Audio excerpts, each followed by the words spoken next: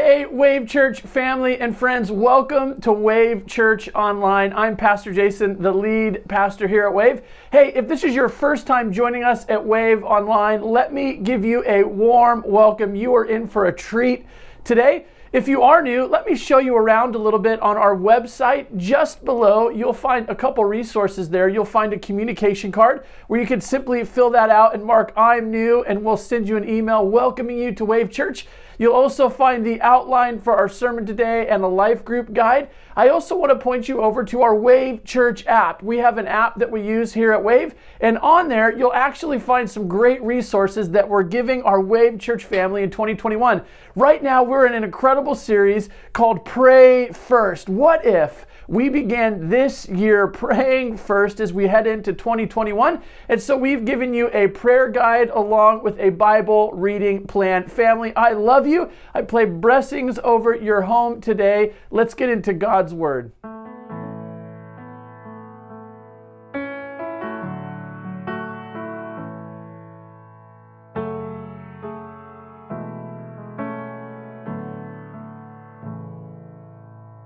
Let the king of my heart be the mountain where I run, the fountain I drink from.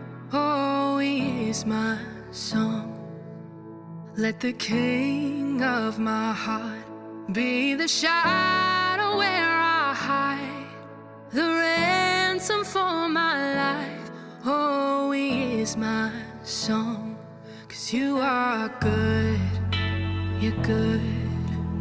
Oh, you are good. You're good. Oh, you are good. You're good. Oh, you are good. You're good. Oh, and let the King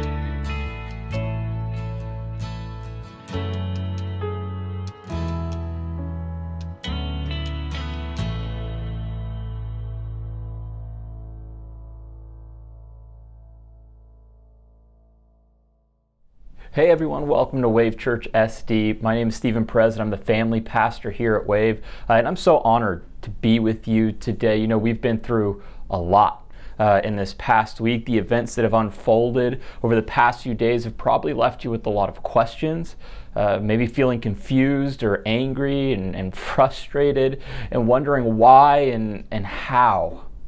And I just want to pause and encourage you for a moment that this is a great place to be to be right here, to be in the midst of all the chaos in front of God's Word. And it's my hope and it is my prayer that today you will encounter the words of God and that it will bring wisdom and comfort and encouragement into your life. But before we start, will you join me in a word of prayer? God, we come before you right now, just in complete recognition of our great need, aware that we are broken aware that we are sinful, aware that we are in need of you to save us. And so, God, we ask you today to speak to us, to bring healing to our hearts, to bring conviction in places where we need to be convicted. And God, that you will continue to guide us and shape us and mold us into the people that you desire us to be. God, may you tune our hearts to the words that you have for us this morning. We pray this all in Jesus' name. Amen. You know, I'm an individual that doesn't really believe in coincidence. Uh, I tend to see a lot of connections between things. And well, if you've uh, been on Earth long enough, you probably know that this could be a really exhausting exercise because there's a lot of things out there that are just difficult to explain. They're hard to make sense of. But when Jason told me back in the fall that we would be starting the new year off with a sermon series on prayer, I really didn't think much of it. I thought, yeah, that would be great. It's a good way to start the year, and prayer is always a good thing to talk about. But as I sat down to write this message, I realized that there was so much wisdom that God had given to us, that there was so much providence that God had given to us. You see, I wrote this message before everything that happened, before the insurrection took place at the Capitol, before people came and tried to intimidate and undermine our democracy. And as I watched the events unfold throughout the day, I called Jason and said, Man, I don't know if I have the right message. I think, I think we might need to do something different. And Jason encouraged me because he had heard the message already. He said, Why don't you just go back and, and read through what you already have written again? And so I did. And as I, as I read through them in context of all that has happened, I realized that God had prepared this message for us before I had any understanding of what we really needed and what was going to be happening around us. And my hope for today is that we get a better understanding of prayer that we could really dive in and understand just how important it is that prayer becomes a core part, a central part of our daily experience. You see, prayer is something that many Christians struggle with. It's true. It, it's not an, an indictment, it's just a fact. You see, our interaction with prayer tends to take place on the far ends of the spectrum. And to illustrate this, I want to share two personal stories from my life about prayer. The first one uh, comes from my grandmother, my Nana. Every morning, I remember waking up and watching her start her day off in prayer. I would walk by her bedroom and I would see her knelt on her knees over her bed, praying and starting the day off with 30, 40 minutes of prayer. And every night when she would tuck us in, she would pause and she would pray with us. She was committed. She had a time, uh, she had a place, and she had a plan. I've always admired her active prayer life. She's one of those people that when she says, I will be praying for you or I will be praying for that, you know it's true. You know it's going to happen. You know you're going to be prayed for. And the second story of prayer actually comes from my wife.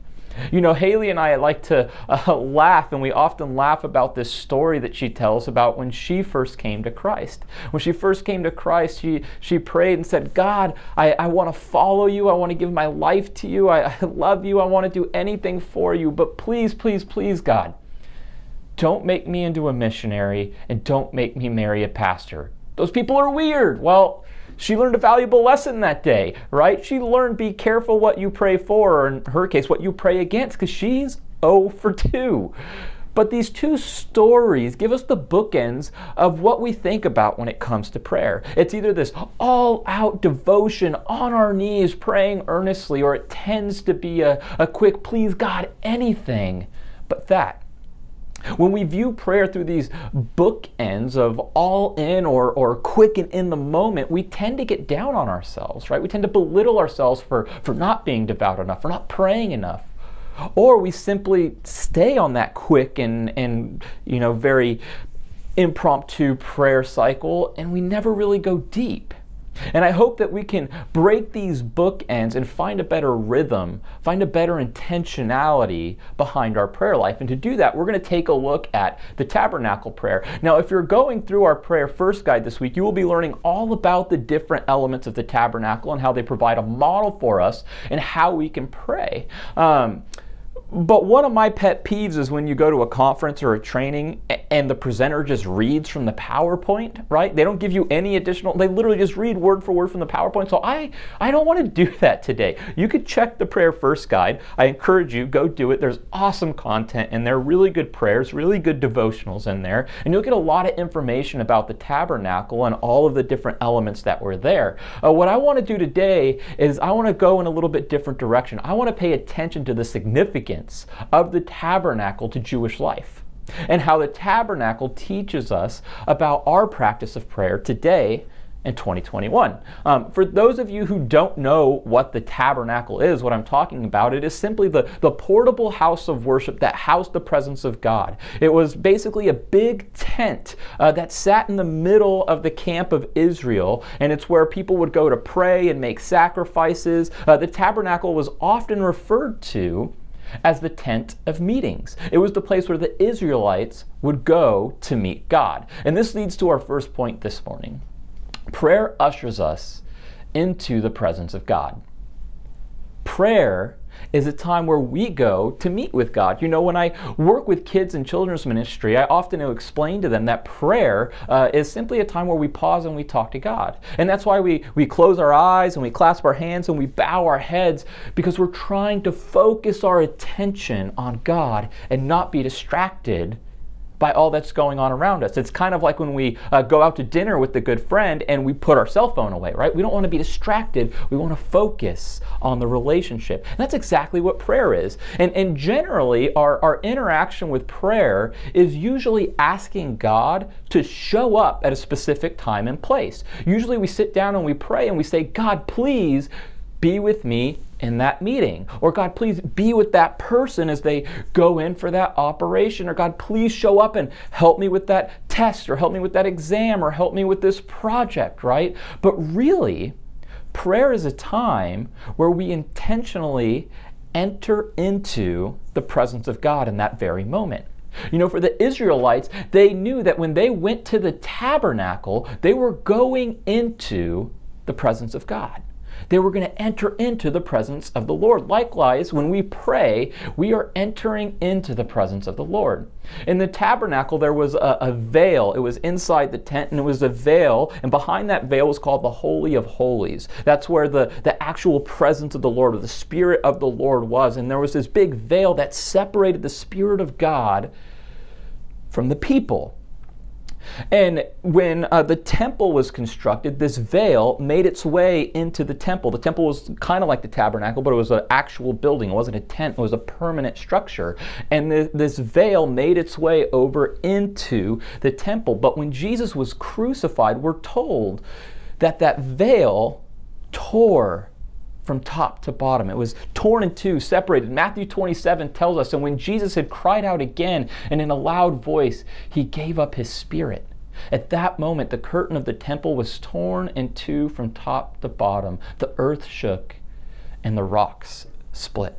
The moment Jesus completed his self sacrifice on the cross, God's presence was released into the world. That means wherever you are, you are actually able to enter into the presence of God. The Holy of Holies is no longer behind the veil, it is released into the world.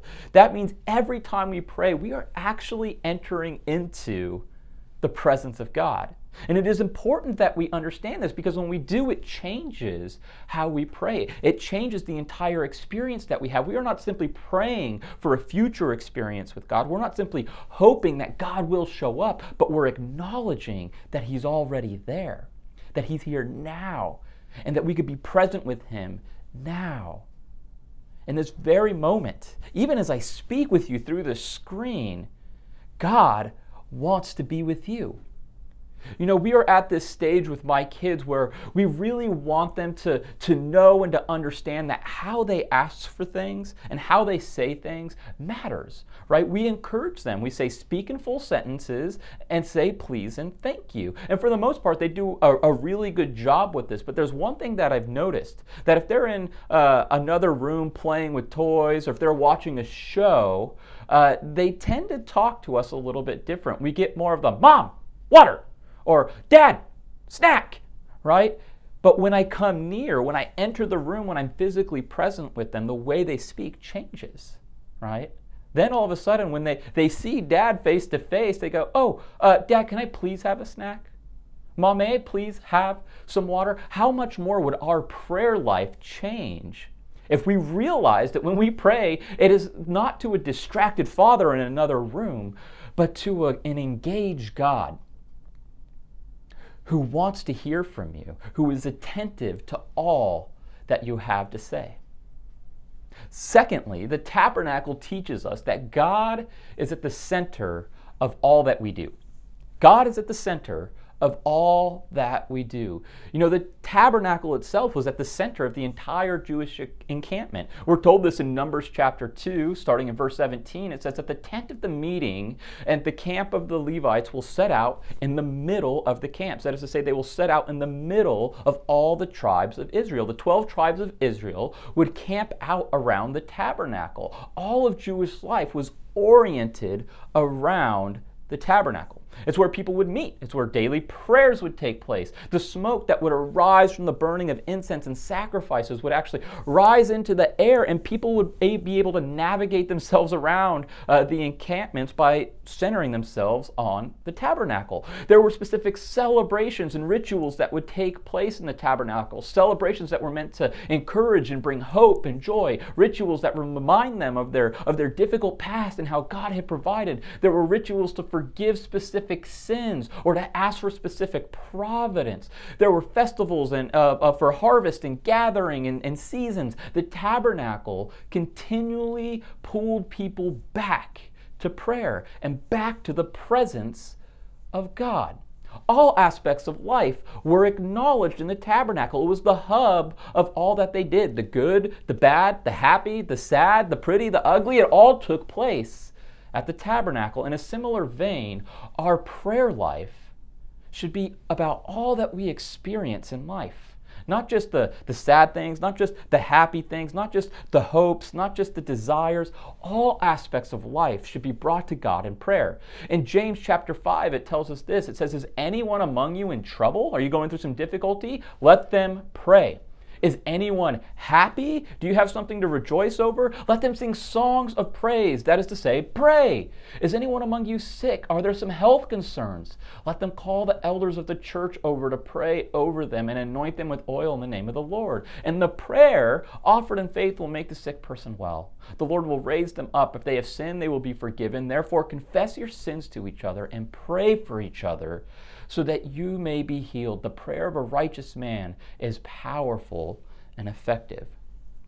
Part of developing a healthy prayer life is it needs to be attached to all that we do. It needs to be the center of all that we do. We need to become practiced at not only entering into the presence of God at a set time and place or whenever we think about it, but entering into the presence of God again and again and making Him the center of all that we do. He needs to be the center of our of our work lives, of our family lives, of our friendships, of our politics, of our physical life, of our emotional life, of our mental life.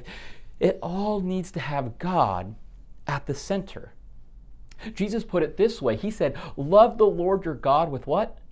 All your heart, all your mind, all your soul, and all your strength. Everything we do needs to orbit around the Lord. You know, one of the many unfortunate things that we saw in this past week was the name of Jesus being invoked in the midst of the insurrection. Individuals were holding Bibles in the air while encouraging people to fight with police and, and throw punches and hit with sticks. There were flags with the cross on it that were being waved back and forth while people chanted obscenities and mocked reporters. It was really, really difficult to watch. You know, the dissonance is not only alarming, but it also tends to elicit a little bit of anger and fury in me as well. How does this happen? How do individuals conflate violent actions with Jesus and the gospel? How do you get there? I think it happens when we get disconnected, decentered from God. And it happens all the time. Right? This isn't the first time this has happened. It happens all over the world. It's happened all throughout history. And I believe it happens because we, we can't simply make Jesus an accessory to our lives. Right? It happens when we don't make Jesus the center, but simply just a part. He's just a part of what I do. And other things become the center.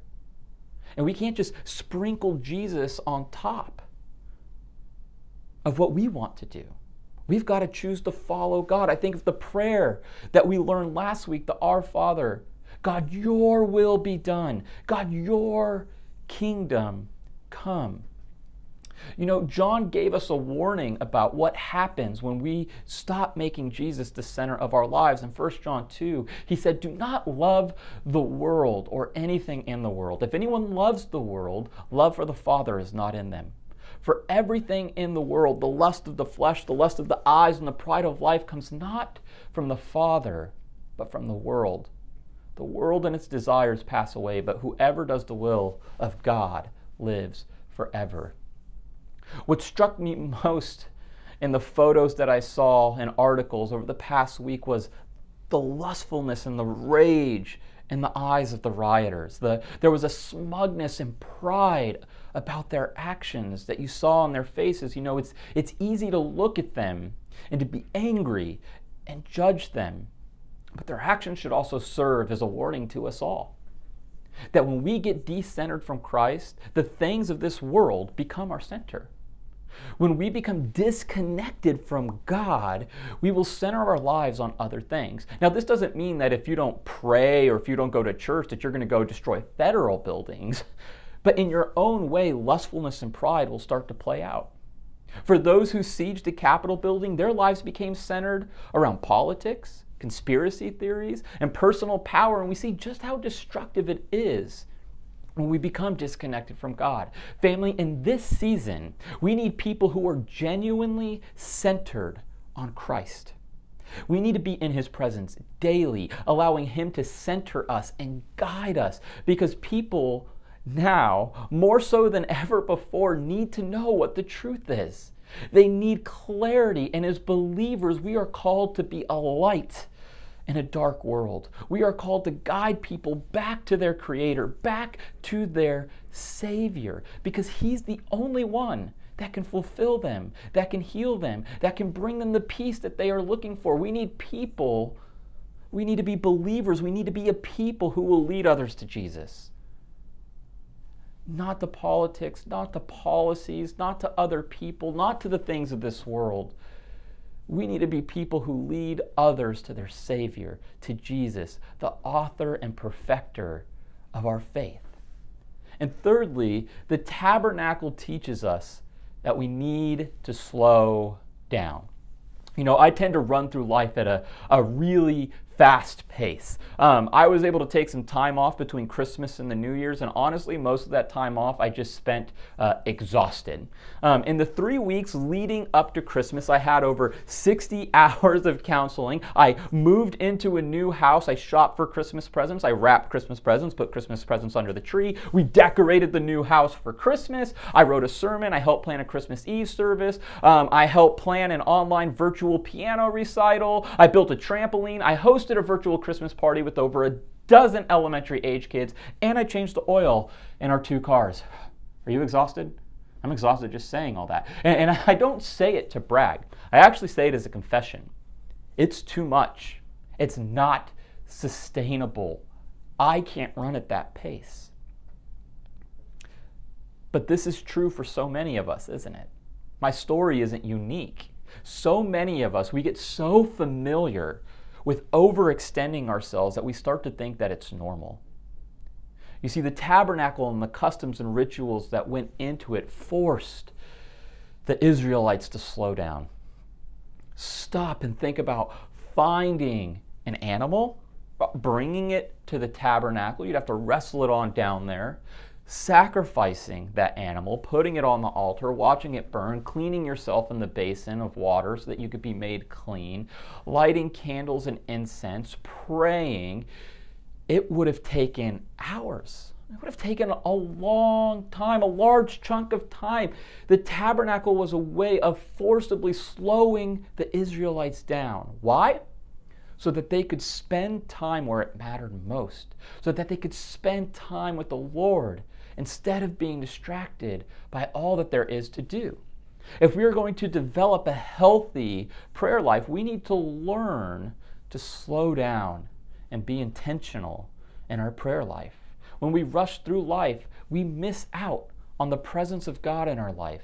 And it often leads to us feeling really disconnected. And I want to take us to a section of scripture that I think highlights just how so many of us operate. If you have your Bibles, we're going to go towards the very front. We're going to go to Genesis and look at the story of Jacob and Esau. This is one of my favorite stories in all of the Bible. And if you aren't familiar, familiar I'll give you a quick rundown um, of this story. Esau is the older brother. He's a manly man. He hunts, he's hairy. Seriously, the Bible tells us that. I'm not embellishing. It says he's a hairy guy. Uh, and Jacob is the younger brother, right? He's the cute younger brother who's doted on by his mother. And long story short, Jacob, this younger brother, uh, steals his brother's blessings and inheritance by impersonating Esau and tricking their old, blind, and dying father.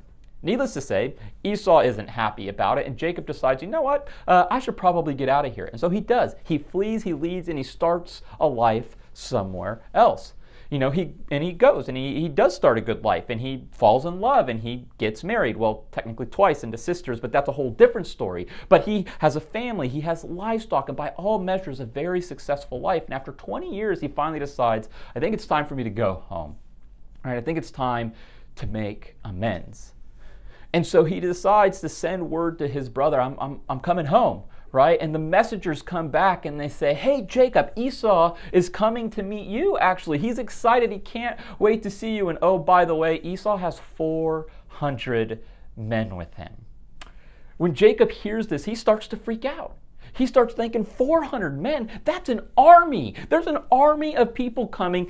Esau's coming to destroy me. He's coming to take everything I have. And so Jacob does what I think all of us here would probably do. He starts planning, right? He starts divvying up his stuff and putting it into different camps. He creates different waves of servants to go out before him to greet Esau to see if they could really find out what his intentions are and how angry he is, so that maybe one of those servants can escape, run back to Jacob, let him know Esau's really angry, he's going to kill you, and then Jacob might be able to flee with his wives and children and enough provisions to survive. It would have been a really hectic day to get all of this planned. And we've all had one of those, right? We've all had one of those moments where everything goes wrong, where it's all hands on deck and we're just trying to find some solutions to some problems to stop the leaking, right? Jacob was probably anxious, worried, fearful, trying to make decisions. And as nightfall came, Jacob finds himself all alone, probably for the first time that day. And this is what the scriptures tell us, starting in Genesis 32, verse 24. So Jacob was left alone, and a man wrestled with him till daybreak. When the man saw that he could not overpower him, he touched the socket of Jacob's hip, so that his hip was wrenched as he wrestled with the man. Then the man said, Let me go, for it is daybreak. But Jacob replied, I will not let you go unless you bless me. The man asked him, What is your name? Jacob, he answered. Then the man said, Your name will no longer be Jacob, but Israel, because you have struggled with God and with humans and have overcome. Jacob said, Please tell me your name. But he replied, Why do you ask my name? Then he blessed him there. So Jacob called the place Peniel, saying, It is because I saw God face to face, and yet my life was spared. The sun rose above him as he passed Peniel, and he was limping because of his hip. The man that wrestled with Jacob, many Bible scholars believe that that was Jesus. That that was God coming down to meet with Jacob at a moment in need. It was a, a, a Christ like figure uh, that we see throughout the Old Testament in different scenarios. But Jacob was running so fast through the day. He was running so fast through life, making plans and decisions and plotting and planning to protect all that he has, that when God showed up, he didn't even recognize him. In his anxiousness and his tiredness, he doesn't recognize that it is God who is right there with him. And he fights with God all through the night. And you might be thinking, well, how was he supposed to know that it was God who showed up? And how was he supposed to know that it wasn't maybe an actual bad guy? Because God had been showing up for Jacob all throughout his life. This wasn't the first time that God had tried to speak to Jacob, that God had tried to encourage him, that God had shown up in Jacob's life. But Jacob is running so fast through life that he misses out on what could have been a night where the Lord brought him peace and comfort and rest, where he was reassured. And guess what? All that stressing out that Jacob was doing, it was pointless. Esau didn't want to come and kill him. Esau didn't want to hurt him. Esau was just so excited to see his brother again after 20 years. He was so excited to show Jacob all that he had accomplished. He had 400 people to his name. He wanted to show that he was doing well in his life too. Have you been there before? Where you were just so stressed out that you can't even hear the voice of God? It might be time to slow down. Three points I want to make as we close up from this story. The first point the pain has a purpose. Jacob's unwillingness to relent and let go causes God to dislocate his hip. He walked with the limp for the rest of his life, but this limp served as a reminder that God was with him. That one of the most stressful moments of his life did not take place alone, but with God in his presence. And this limp, it forced Jacob to live differently. He was no longer able to simply run away from his problems because he wasn't fast anymore, but rather he had to learn to address them. The pain of that interaction, it, it stuck with him for life, but it had such positive implications. Family, this past year has maimed a lot of us. We've all been hurt. We're all walking with a limp maybe a financial limp or an emotional limp or a, a physical limp from our health. We are walking wounded and we carry the scars of some serious life battles over this past year. But these painful moments, they often force us to slow down, to look at life and see God in the midst of all that is going on, to see that we actually need Him to be there with us, that we can't do it alone. These scars that we carry, they're not reminders of our failures, but reminders of God's faithfulness to continue to pursue you and provide for you. Paul understood this clearly in his own life. In 2 Corinthians 12, he tells us, But he, Jesus, said to me, My grace is sufficient for you, for my power is made perfect in weakness. Therefore, I will boast all the more gladly about my weaknesses, so that Christ's power may rest on me. That is why, for Christ's sake, I delight in weaknesses, and insults, and hardships, and persecutions, and difficulties, for when I am weak, then I am strong. The second point I want to make keep wrestling. Keep wrestling. The second thing I want us to take away from this story is that sometimes we need to keep wrestling. You know, in Hosea, we get a little commentary on this section of scripture that we don't get uh, from Genesis. In Hosea chapter 12, verse 4, it says that Jacob strove with the angel and prevailed. He wept and sought his favor. Jacob's demand to be blessed came with tears in his eyes. It came knowing he was defeated, knowing that he lost, and yet somehow still asking God to bless him, still believing that in some way God could use his defeat for good. As we seek to develop a life of prayer, sometimes the best thing we can do is just keep wrestling through it. You see, Jacob's prayer doesn't come when he gets his life together. It doesn't come when he gets organized and realizes, man, I need to, to slow down. I need to have a, a time, a place, and a plan, and I really need to commit to prayer. It comes immediately. It comes in a moment of wrestling. So if you're looking to start a life of prayer, start right now. You don't need to wait to get everything perfect. It's not like uh, making a New Year's resolution and say, oh, well, I'll start eat, eating healthy in a week. Let me just get rid of all the junk food first. You could start now. Start praying now. Don't wait. There's no need. And if you've already started to pray this year, maybe you've been praying throughout this year and you're wondering, is this really working? Is this doing anything? Is it getting me anywhere? Keep wrestling through it. God is with you in that struggle. And when it feels like all is lost and, and, and, defeat is imminent and your eyes are filled with tears, just simply hold on. Because God is there and He wants to bless you. And finally, our last point is let God rule. Did you catch the name change that took place in this section of Scripture? God changes his name from Jacob to Israel. Jacob meant the deceiver. And that's just what Jacob was. He was a deceiver. He deceived his brother, he deceived his father, he even deceived himself, and he even got deceived throughout his life. But after this encounter with God, after wrestling with him, Jacob gets a new identity.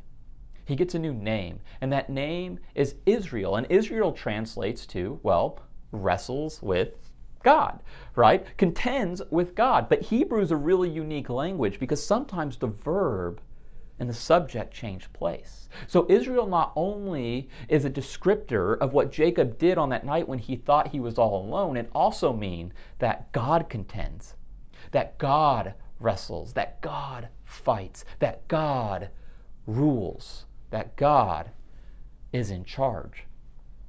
What Jacob received on that night was a constant reminder that he was not alone was a constant reminder that God was going before him and making a way and contending for him on his behalf. And the same is true for me and you and for all of us today. God is not looking for us to be perfect and have it all together. He is simply looking for us to come to him, to show up, to be present with him, to speak to him, to pray with him, even when we aren't sure what to say. And I love this, this scripture that tells us that even when we don't know what to pray, but we just come to God, this is what the scriptures tell us happens when we don't know what to pray. In Romans 8, it tells us likewise, the Spirit helps us in our weakness, for we don't know what to pray for as we ought to, but the Spirit Himself intercedes for us with groanings too deep for words. So when you don't have the words, God has them for you. He's just asking you to show up. Building a life of prayer isn't about having perfect words. It's more than just ha- having a perfect place and a perfect plan. Building a life of prayer is about continually reminding ourselves that God is in control, that He rules, that He contends, that He will contend on our behalf. Even when you don't know what to say, God does and God will show up on your behalf. As you spend time this week reading through the Prayer First Guide and learning about the different elements of the tabernacle and how they point us back to Jesus, I want to remind you of this truth that comes to us from Hebrews chapter 9. It says, But when Christ came as high priest of the good things that are now already here, he went through the greater and more perfect tabernacle that is not made with human hands. That is to say, it is not part of this creation. He did not enter by means of the blood of goats and calves, but he entered the most holy place once and for all by his own blood, thus obtaining eternal redemption. Family, remember who it is that we pray to. We pray to a God who came down who took on human form, who lived a life free of sin, but full of love and grace and power and healing. We pray to a God who willingly went to the cross on our behalf to take the punishment that we deserved. We pray to a God who, who died on that cross, but in his greatness, in his holiness, death could not contain him. We pray to a God who rose from the grave and reigns forever and ever. We pray to a God that is a more perfect tabernacle. His ways are not of this world, but it is only His way that will lead us to a life of freedom. It is only He that will lead us to eternal life. There is no institution, there is no politician, there is no political party that can do what Jesus has already done for us. So we remember who we pray to. We pray to a God who wants to meet with you, who wants to be in your presence. We pray to a God that wants to be the center of all that we do. He wants to be with you in the highs and the lows, in the good and the bad. We pray to a God who makes it possible for us to slow down, to a God who graciously redeems our painful moments and gives them purpose. We pray to a God who wrestles with us and for us, and who is reigning and ruling right now in this very moment. So I want to ask you to simply close your eyes bow your heads, and in this moment, join me as we acknowledge His presence with us today. Let's close in prayer. God, we are so grateful for you. God, that you are with us right now. As we watch on our screens, as we sit on our couch or in our chair, wherever it is we might find ourselves, that you are with us. God, may we feel your presence. Embrace us in this moment. God, may you calm the worries and the anxieties and the fears in our mind. May you pull our hearts back towards you. God, there's so much out there that is vying for our attention, that is pulling us in ways that are opposite of your will. And God, we ask for forgiveness for the things that we have done that have sinned against you. And God, we ask for you to wrestle with us and for us, God, to pull us back into your will, to center us around you.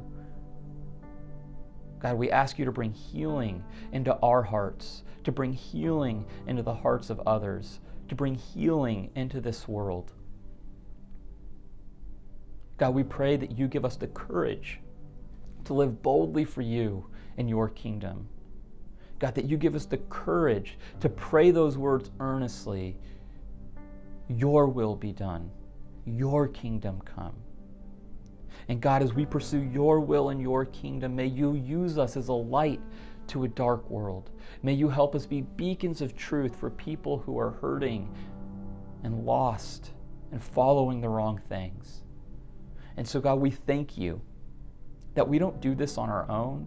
It's not our efforts, but God, that it is the work that you have done on the cross that saves us, that it is faith in you and you alone that saves us. And we're grateful for that, and we're thankful for that. And so we give you all the praise, we give you all the glory, and we pray all this in your name. Amen. Family, I hope you've been encouraged today.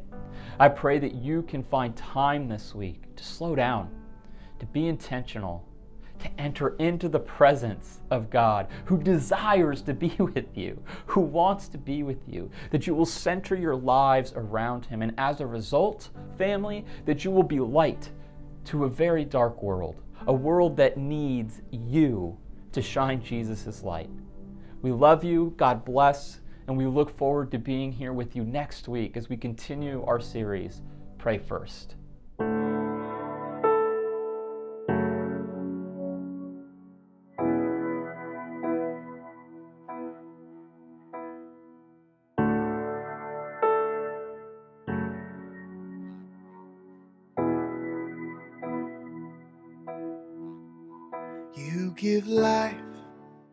You are love, you bring light to the darkness, you give hope, you restore every heart that is broken. Great are you, Lord. And it's your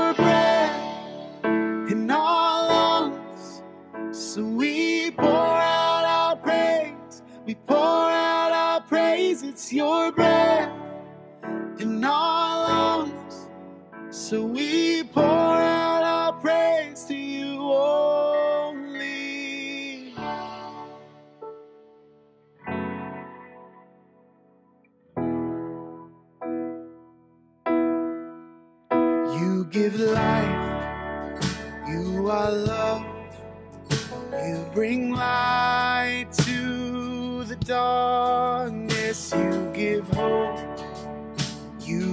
you